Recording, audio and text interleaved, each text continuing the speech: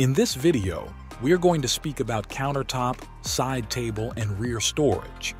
Countertop can hold up to 200 pounds in weight. That means that you can easily place a professional coffee machine and all your supplies on it. The weight capacity of our side tables is up to 20 pounds. Rear storage is made for napkins, plastic cups, paper towels, and something similar to it, but not heavier. The process of cleaning or removing any scratches is similar to house furniture.